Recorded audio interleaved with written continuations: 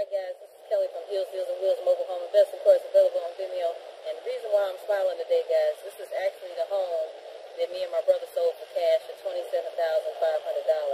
Uh, that was 72% return on our investment, and actually that was the low, lowest return on our investment that we ever, ever had. And so we're out here today because we're actually buying this property directly across the street. And that particular mobile home, we're going to actually uh, rent that particular.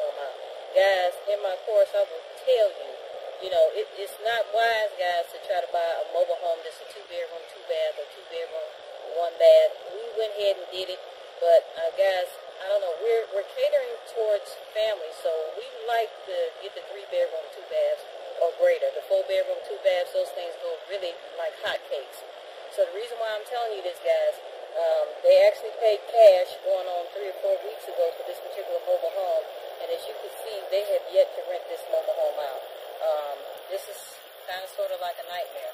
So this is what I teach you in your in my course. Guys, we are catering towards families. So anything less than a three bedroom, two bath, unless you're wholesaling it, be very, very careful. All right? Still smiling, guys, because we got twenty-seven thousand five hundred for this mobile home. Like I said, seventy-two percent return on our investment. This is Kellie from Hills and Mobile Home Investment, course,